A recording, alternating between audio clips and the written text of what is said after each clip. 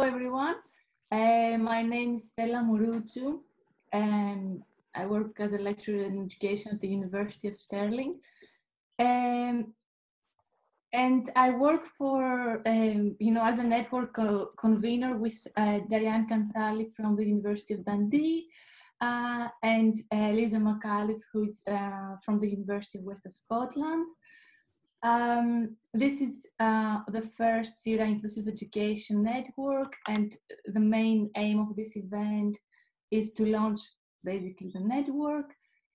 Um, thank you for being here today. We've got, uh, we'll start with our um, two speakers who are experts in uh, inclusive education, uh, and then we will continue with a discussion. Um, the discussion will be coordinated by Diane uh, please add any comments or questions uh, into the chat box uh, during the discussion and uh, you'll be asked to be um, unmuted to ask your question later. Uh, but let me yes introduce uh, our two speakers for today, Dr. Margaret Sutherland from the University of Glasgow and Dr. George Head from the University of Glasgow, who will lead um, this conversation looking at the progress of inclusive education uh, in Scotland. Okay, and to you, Margaret and George. Thank you, Stella. Um, is everything okay? Can you hear me? My Zoom picture has disappeared off my screen, which means I can't do anything with my mic. Is everything okay? Yes, we can hear you. That's fine. That's fine. I will deal with where it's gone. Um, I, I will just speak now. um, so thank you, Stella, um, for your welcome. Thank you, everybody, for coming. Um, can I thank SERA for inviting me to speak at the launch of the Inclusive Education Network. Having heard about the plans for this network, it's great that the day is finally here and we're off. And it's a real privilege to have been asked to speak about inclusion it's something that's very close to my heart. It's something that I've spent my professional life teaching about, writing about, thinking about, and indeed just generally trying to put into practice in as many aspects of my life as possible. So, thank you for allowing me to share some thoughts this afternoon. It's perhaps really quite timely that this network is starting now. In the last 10 days or so, two key reports um, both related to inclusion, have been published. But more about them later. For just now, I want you, I want you to come with me. I want to take you back to 1978. Now, some of you weren't even born then, but for me, I was just about to start studying at Jordanhill College of Education to become a primary teacher. Now, those of you familiar with inclusion, when I said the date 1978, probably immediately thought, ah, the Warnock Report. And of course, you'd be absolutely right. That is the year that the Warnock Report was published, and the ideas around special education really started to be challenged. And I well remember sitting in a lecture theatre at Jordanhill listening to Carol Hewitt talking about this new report that had just come out. And since 1978, Scotland has been grappling with the issues that Warnock raised. We've been trying to implement legislation and policy and practice that supports young learners and has changed and developed as our understanding about concepts of learning and teaching and inclusion have developed over the years. Who remembers Every Child is Special, published just before the demise of Strathclyde Regional Council another document perhaps familiar to some of you. But today's about a new network, so why on earth am I talking to you about the past? Well, actually, I think the past can explain the present, but it doesn't have to define the future. But to think of the future without acknowledging the past, I do think leaves us open to criticism and to repeating mistakes. We found ourselves in a place that six months ago, right now, we just wouldn't have thought was even imaginable. So the future seems very insecure. I've just been at a meeting in my university talking about returning to campus, one metre, two metres. How, what are we going to do? Very insecure. And yet, it also offers us possibilities. Mm-hmm. Because to go back to what we had six months ago, whether that's in relation to education, the economy, or health, it doesn't necessarily seem a very good idea to me. One thing the pandemic has done, I think, is to highlight and spotlight the fissures and, and, chasms across societies, across the globe, in terms of poverty and inequity.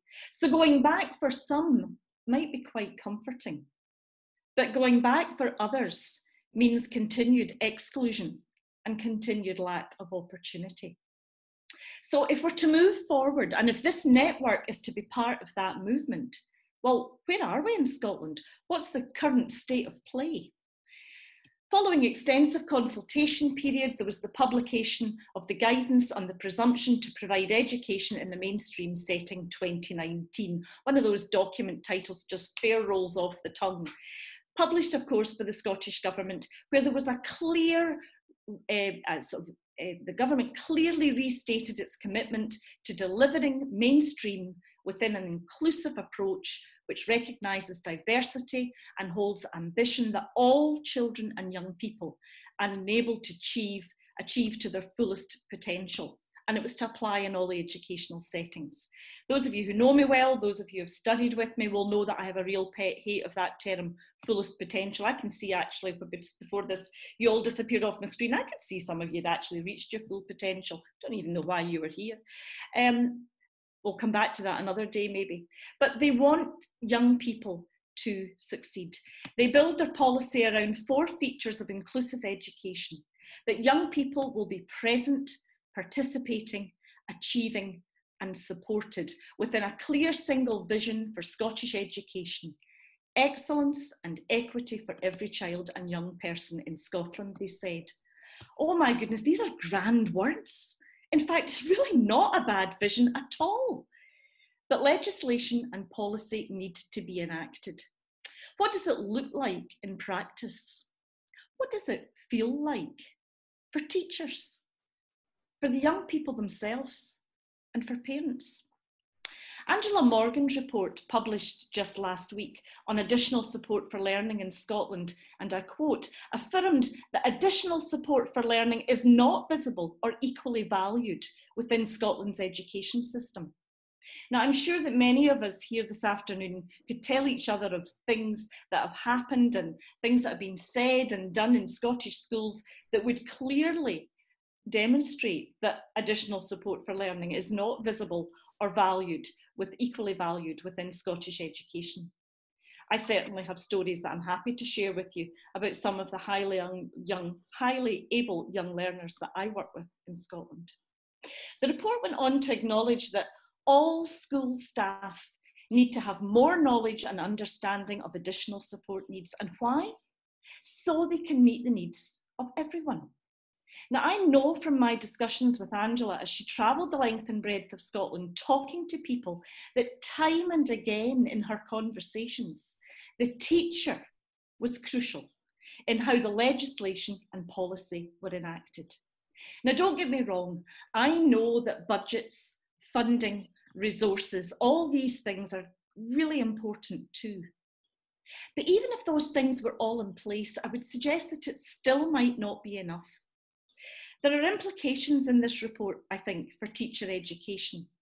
And while I think that many of the recommendations are really good, I'm not sure that, for example, I would agree with the idea of specialisms within initial teacher education. Because remember what the report said?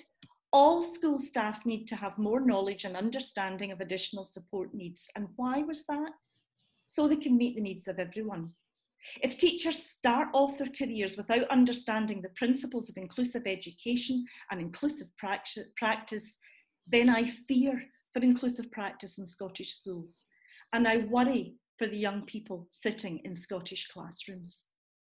A week ago, UNESCO published their annual Global Education Monitoring Report, which this year is focusing, of course, on inclusion and education.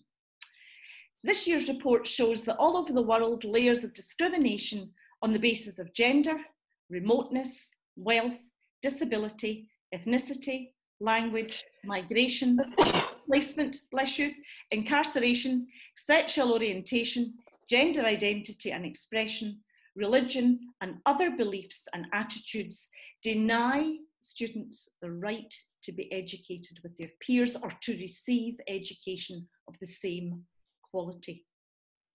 If you came here today in any doubt as to why an inclusion network is needed, I hope that helps to give you an answer. And as can be seen from the UNESCO list, inclusion is much more than talking about children who require additional support for learning. The UNESCO report found that across the world, discrimination, stereotyping, and stigmatisation mechanisms are similar for all learners at risk of exclusion. Now, while 68% of the countries had a definition of inclusive education, only 57% of those definitions cover multiple marginalised groups. You see, that's one of the things that worries me about the recommendation in the Additional Support for Learning report that said there should be a first teaching qualification and additional support needs available during initial teacher education. Because, well, who's in and who's out? You see, my guess would be that autism, dyslexia, and behaviour will be in, but what of those that are out? And I'm certainly pretty sure that, in spite of what our legislation says, and it was groundbreaking, and in my view, it was good and right, high ability will be well down the list, if they're there at all. And yet, my friend's just opened a research centre in the States. His life's work has been looking at high ability, suicide, mental health issues. There's lots of talk just now about developing vaccines and the skills we're going to need that will get us out of this economic disaster.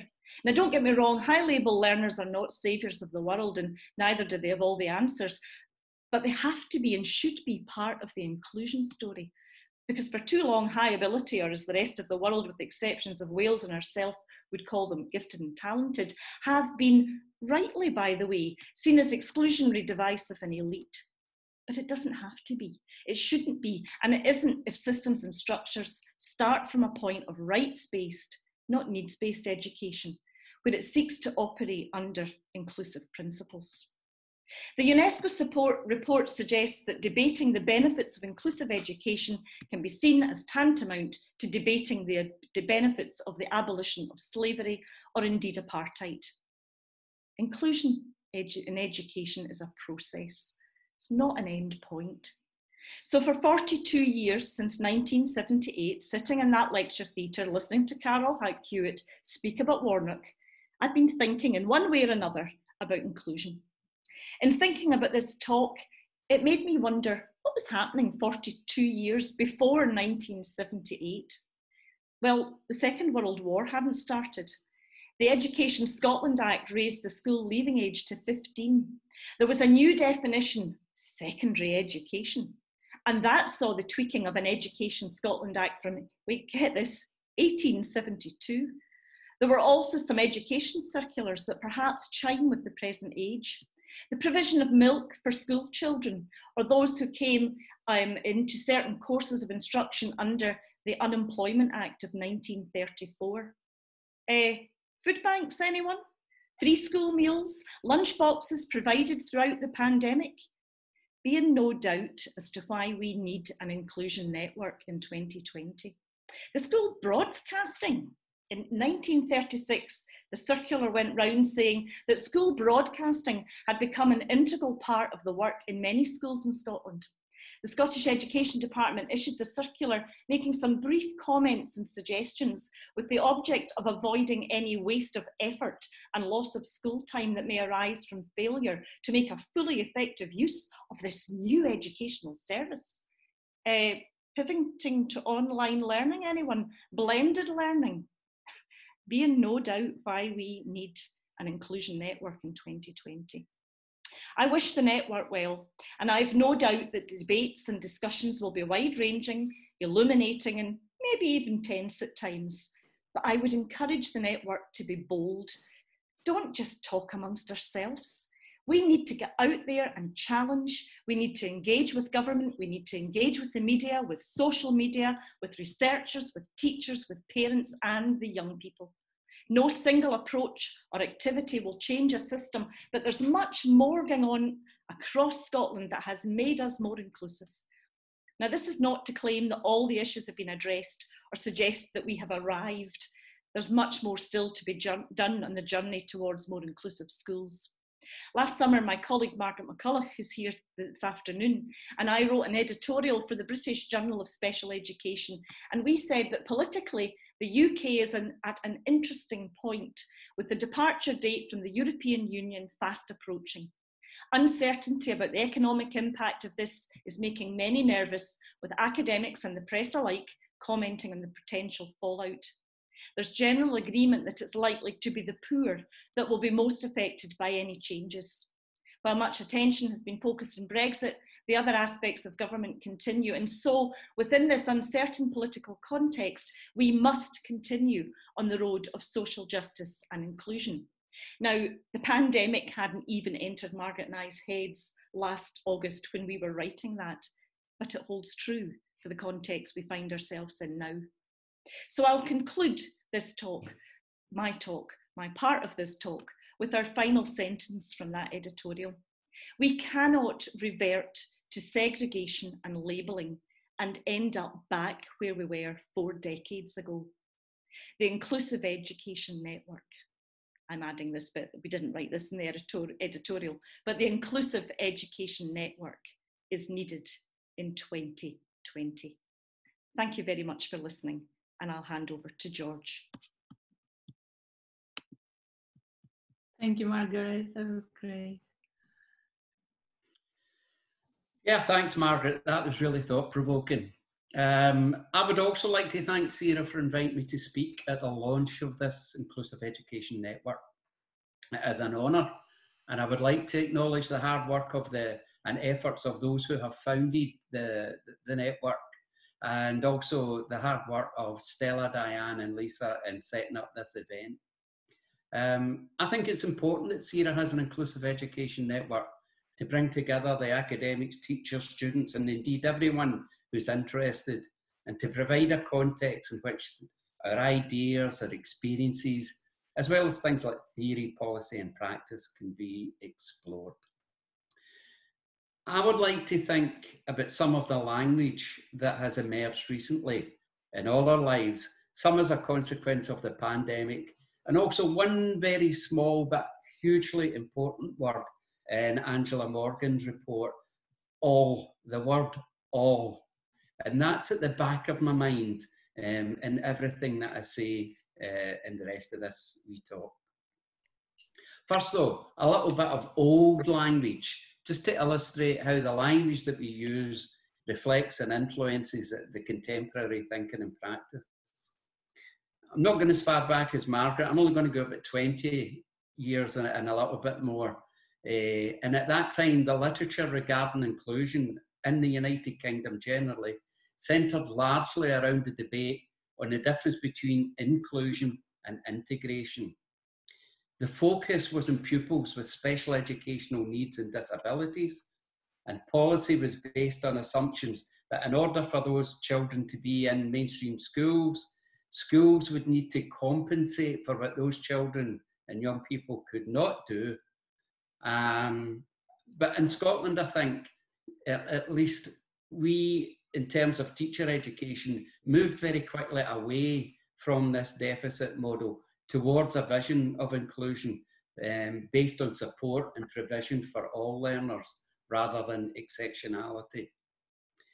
So consequently, uh, I, think inclusive education in Scotland looks very different from what it did 20 years ago, but also looks quite different from what it does um, in other countries from what I can see through my work with WERA, ERA and SERA. Anyway, so to the present, new normal is a phrase that is in current use. However, instead of new normal, I want to think about the new knowledge which will inform any new normal. I also want to consider the concept of blending and the implications of both new knowledge and blending for children, young people, schools, teachers, teacher education, and for research when I talk about new knowledge, I don't, I don't mean anything earth shattering. I just mean the subtle changes in thinking that nudge forward the ways in which we become more inclusive in schools, universities, and in our research. new knowledge can emerge through any number of activities, but typically it's the result of sustained engagement with others through new materials, through context uh, in, in, which we engage, and which we come to appreciate um, the, the, the, the perspectives of others in a way that we did not do before. So blended learning, blended learning of course is common in higher education. Many of our programs at master's level, for instance, have been a mixture of distance and face-to-face learning for years. And they seem to work very well, by the way. Um, the recent discussions on the prospect of blended learning for schools, however, has prompted me to think more widely about the concept of blending itself, the extent to which we do this already, and how we might explore it to, as I say, nudge forward inclusive education. So, new knowledge blending and what they might mean for children, young people, teachers, and researchers, and teacher educators. Children and young people will have had a range of experiences of lockdown. They will have engaged in imaginative and creative play and activities just because that's what they do. As a result, they will have learned and developed new knowledge about themselves as learners.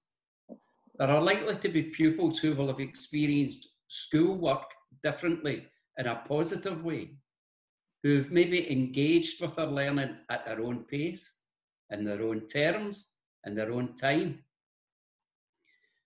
And also, in addition to that, anecdotally, we've probably all heard of examples of children and young people learning new things and developing skills and interests not directly connected to schoolwork.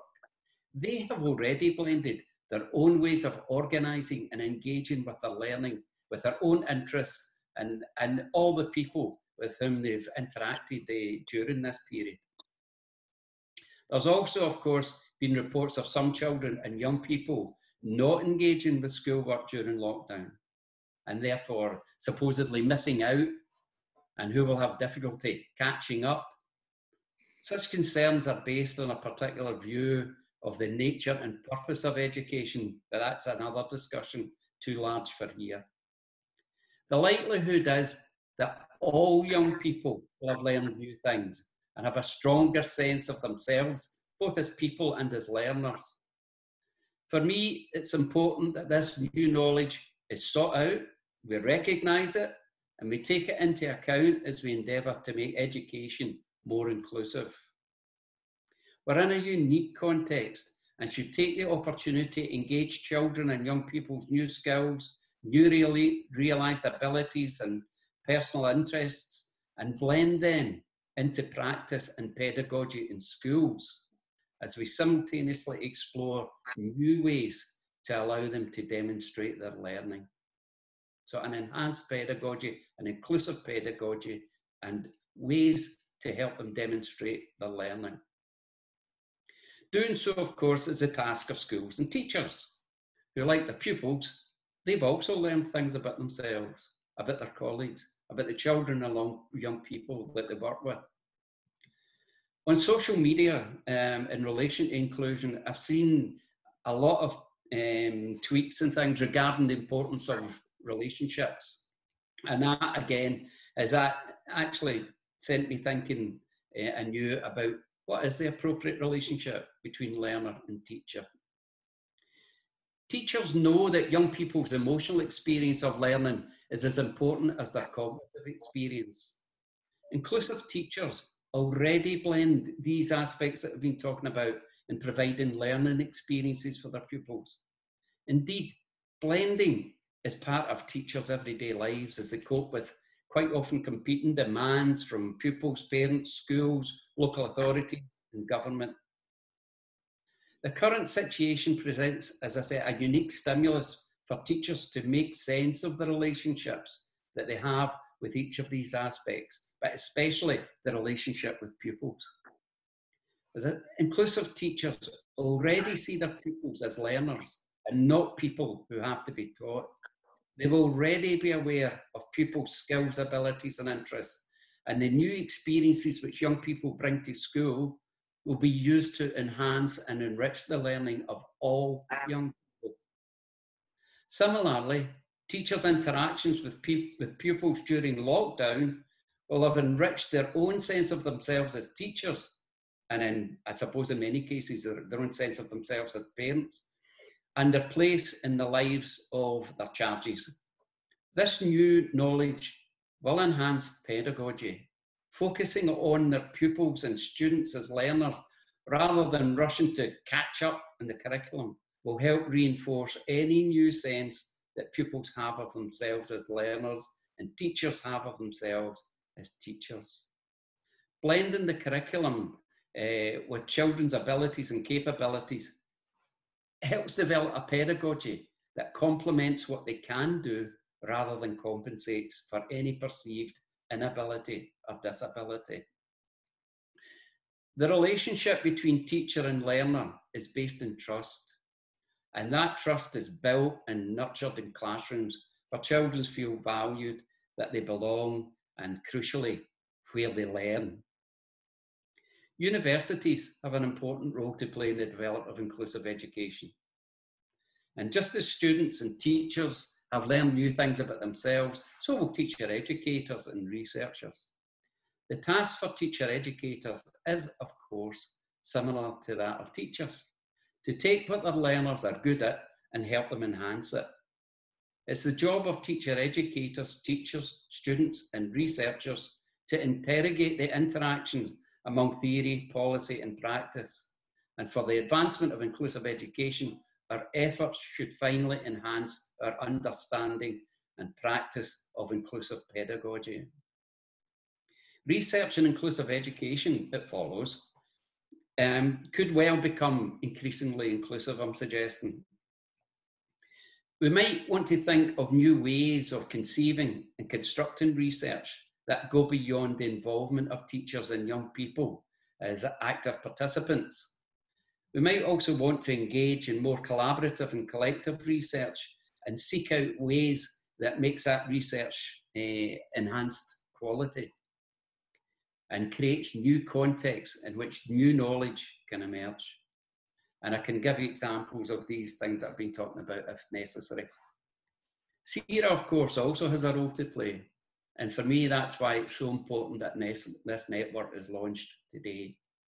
The network will provide a new space in which inclusive education can be explored, it can be theorised, researched, and from the perspectives of all involved. And part of its purpose will have to be to generate the new knowledge that will increasingly and unrelentingly nudge forward our understanding of inclusive education and inclusive pedagogy. Thank you once again for allowing me to speak at this launch. Thank you, George. Uh, now, Diane I will continue with coordinating the discussion and consider several comments and questions. Please feel free to add your comments and questions to the chat box. Okay, so thank you very much, Stella. And I'd also like to echo my thanks to Margaret and to George for um, for helping to launch the network. Um, so I'm going to come to Paul's, Paul Campbell's um, comments, um, and you had a question as well, Paul. Um, would you like to unmute yourself and maybe come in and um, give us a wee bit more information and start the discussion rolling? Yeah, thank you first of all to George and Margaret for a great opportunity to connect and um, reflect a little bit as well. And I think my question was around, I, feel like it's very common um, when you do any sort of uh, policy study or policy analysis, um, whether it's in Scotland or around the world, frequently the recommendations or the responses at the end of that review um, or what, and whatever topic might be in relation to is that it comes back down to initial teaching education. I think my point here was that initial teaching education can only do so much.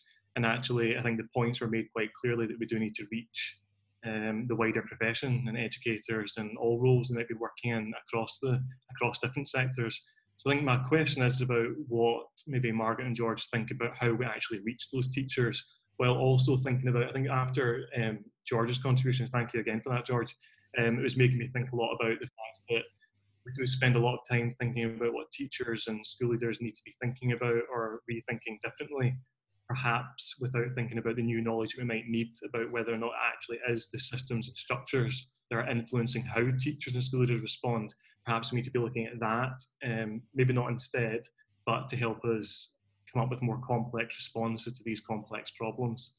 So basically, how do, where, where do we go next? Um, how do we reach those other educators beyond initial teacher education? Um, Margaret, I saw that you'd started to respond in the chat. Do you want to elaborate on that? And then maybe George would like to come in as well. Margaret, you're muted. Mute, sorry. Um, what I had started to say was that, yeah, I mean, it's, it's a bit like in school. When something goes wrong in society, stick it into the curriculum in school. That will sort it. Um, and it's a wee bit like that. It can feel like that a little bit in, in initial teacher education. And, you know, in the grand scheme of things, we have you, uh, we have you know, student teachers for such a short time, sometimes not even a calendar year if it's a PGDE, um, or for four years if it's if it's a, a, longer program than that. But even that's still a short time. And so for me, we we can't do everything.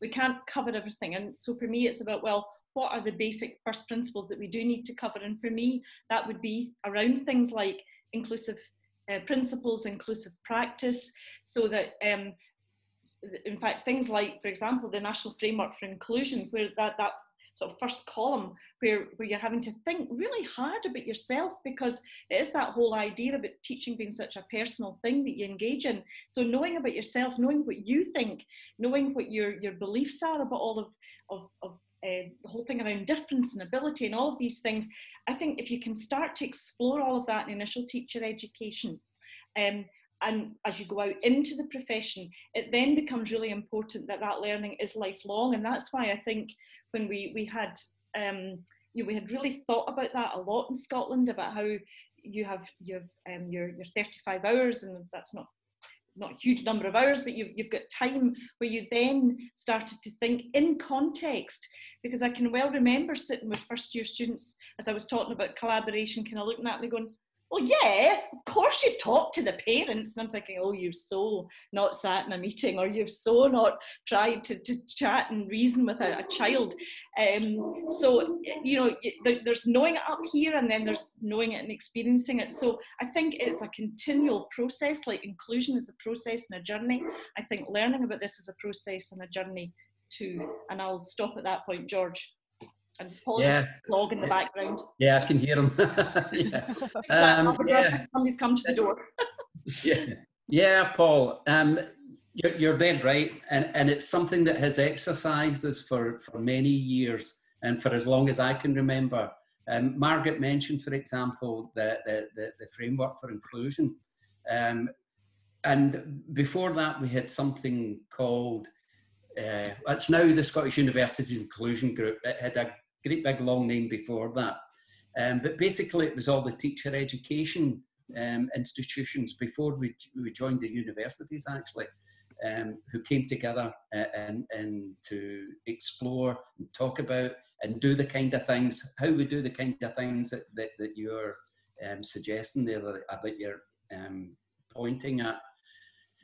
And we've been doing that for many a year now, for a long time. We've got the framework, we've got all sorts of things, but you're right. It's a, it's the, it's the age-old um, difficulty of how how do how do we continue? Um, how, first of all, how do we initiate that in, in initial teacher education? And a lot of the initial teacher education courses now um, contain elements of having students explore themselves as learners from the outset. Um, and uh, in terms of CPD, well, um, there, we used to have direct CPD. That doesn't seem to be the case anymore. Um, I don't, the, the, the money doesn't seem to be there for it anymore, um, and hasn't been for a, a, long while. But we've been trying other things to, to spread that message, to keep the message going. And it's difficult because there aren't the avenues there to do it other than um, when people come to um, do master's degrees. That's the way you take it forward. We need to find other ways. And part, I, part of the work I think of this inclusive education network um, will be to take that message forward, to, to seek out those participants from all uh, aspects of uh, education so that, that this, this aspect of all that's in uh, Angela Morgan's report in actual fact becomes some kind of reality. Okay, thank you so much, um, both of you. Um, I'm just looking in the chat and um, Paul Adams has started to um, open up a discussion around language, um, which Jane and Cara have also um, added to. So I'm just going to pull that together in a question and could I maybe ask Margaret and George we have had a lot of changes in language over the past 20 odd 40 years as you've alluded to. Um, what do you think those changes in language mean in practice and what do you think inclusive education might look like in the future? That's a biggie. Yeah um, i'm quite happy to yeah, you go for it, George. Yeah, okay, Margaret. Yeah, I, I think the changes in language um, can be significant. But just just to illustrate a little bit, when I talk about new knowledge, I don't necessarily. I, am really not talking about things that um, appear suddenly. Um, you you know, like new discoveries. I'm talking about things that take a long, long time um, to be realised as we engage with something like inclusion we come to know what it means through um, sustained engagement with the whole idea of inclusion. And I think that's reflected in some of the language. Other places have hung on to the language of special educational needs much longer than we have. And although we moved to additional support for learning, which I've still got issues with, especially that word additional, um, nevertheless, I think it did signal uh, a shift in thinking. It, it both signaled that shift in the sense that it was already happening, but it also encouraged that shift to take place further. And the, dif- the difference between it was the shift away from inability and disability that, um, and deficit that special educational needs entails, and the, a move towards ideas of supporting all pupils at some time and towards provision and support. That so even acknowledging that there will be some degree of, if you like, academic piety in, in the use of the language or linguistic piety, at least in the, in the change of the language. Um, um, I think it does encourage change, but that change is never swift. Nothing is in education. Um, it takes a long time because people need to engage with the idea. They need to um, interrogate that idea and they need to explore it with others in order to um, enhance their understanding of it. So, what will it look like in the future? Who knows? I know what I would like to see, and that's all pupils in all sco- in schools all the time. That, uh, as far as possible, I suppose. I suppose I've always got to qualify that um, when I don't really want to, right? Because there may be some something that doesn't work. But in all, I always said that when I worked in mainstream school, uh, sorry, when I worked in special schools eh, for children who, at that time, the phrase we used was social, emotional, and behavioural difficulties. Um, I always said that there was nothing that I did in a special school that could not have been done in a mainstream school if mainstream schools had been prepared to change. And I think what part of the challenge for inclusive education is to challenge the hegemony of the mainstream um, and, um, and to work towards that change. Thank, thank you. I'm aware that we're just coming up on a quarter to five, so we have got a couple more questions in the chat that I'll come to. Um, but just before I do, um, as an inclusive education network and as Mariam has said in the in the chat box she's asking um, what's the what is the remit of the network? Um, we're very much a fledgling network and we have a question for all of you. Um, and that is what can we as an inclusive education network do to support you to support teachers schools university colleagues parents the wider community with meeting the needs of all children? Um, if you've got any ideas right now please pop them into the chat box. And if you come up with ideas over maybe the next 24, 48 hours, um, please um, send them along to us as well. Um, I'm just going to pick up on um, David's comments and questions. Um, David's mentioned about UNESCO and the Scottish Parliament debating inclusion um, and a question around um, systems being on a journey with inclusive education? And do we seem to be going backwards? David do you want to come in and just elaborate on that a wee bit? And then maybe margaret and george could give their thoughts.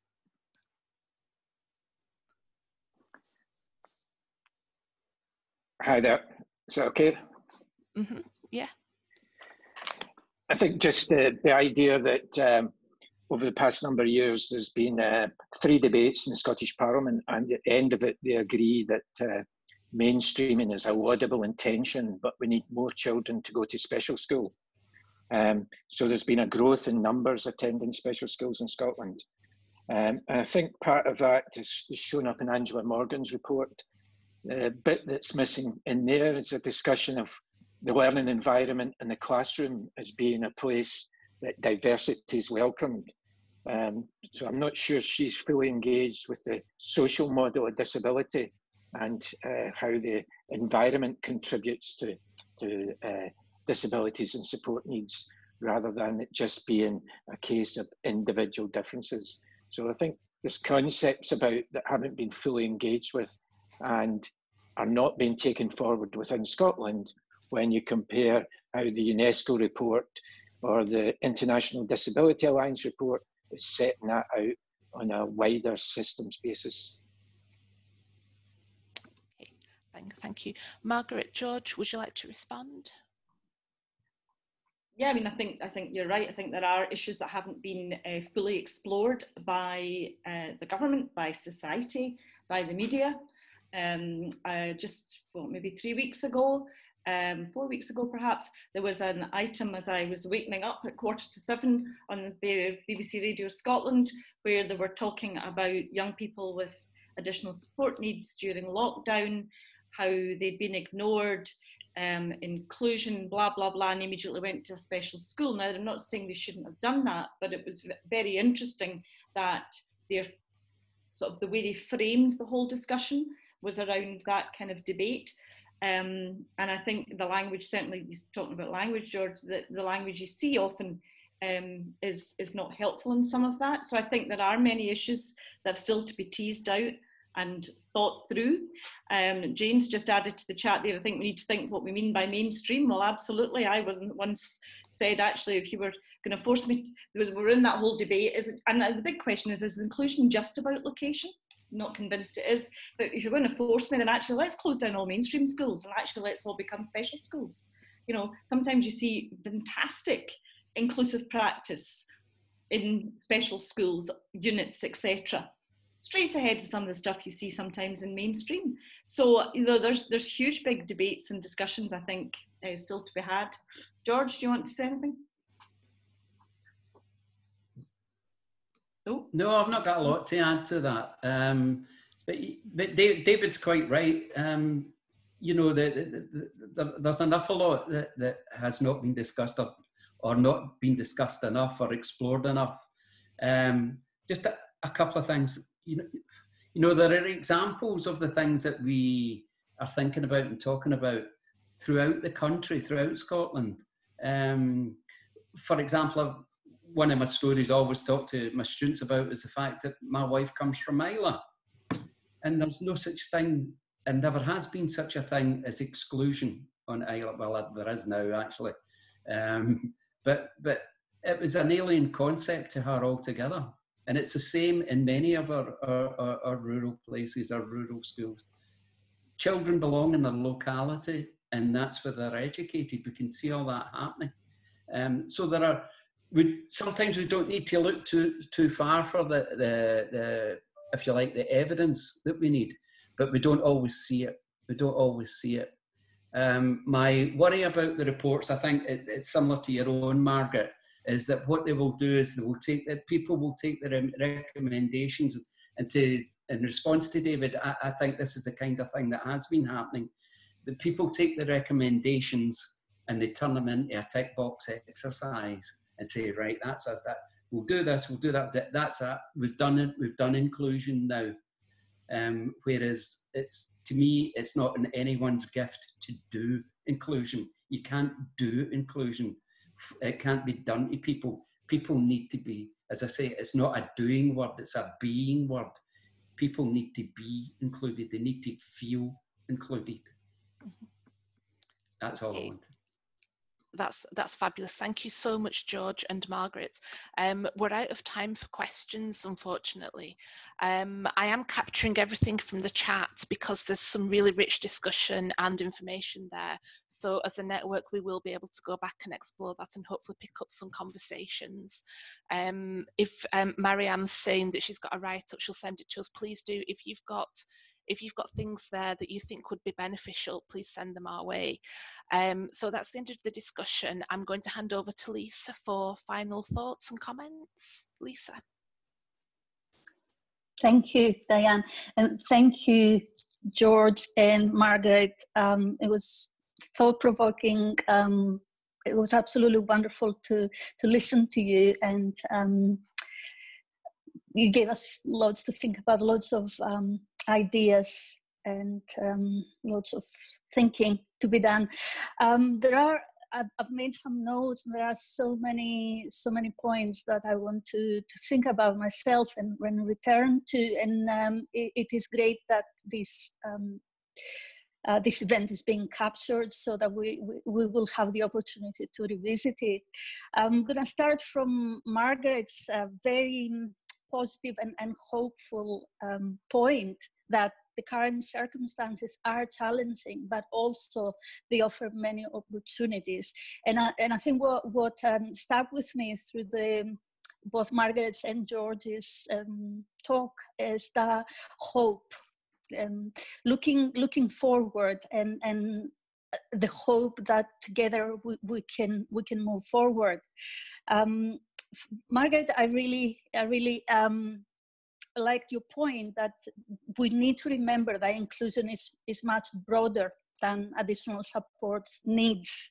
We need to remember that um, there are many marginalized groups, uh, there are groups and individuals that experience discrimination for, for various reasons. There is intersectionality, there is overlapping um, discrimination and, and marginalization that many experience. So it is important to remember that inclusion is, is much broader than additional support needs.